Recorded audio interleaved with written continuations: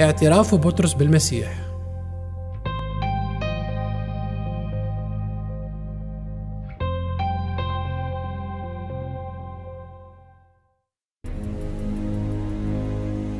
ثم توجه يسوع وتلاميذه إلى قرى قيصرية فيلبس وفي الطريق سأل تلاميذه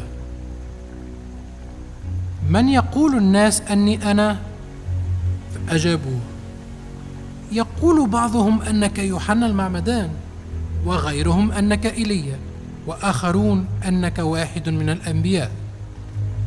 فسألهم وأنتم؟ من تقولون أني أنا؟ فأجابه بطرس أنت المسيح. فحذرهم من أن يخبروا احدا بأمره.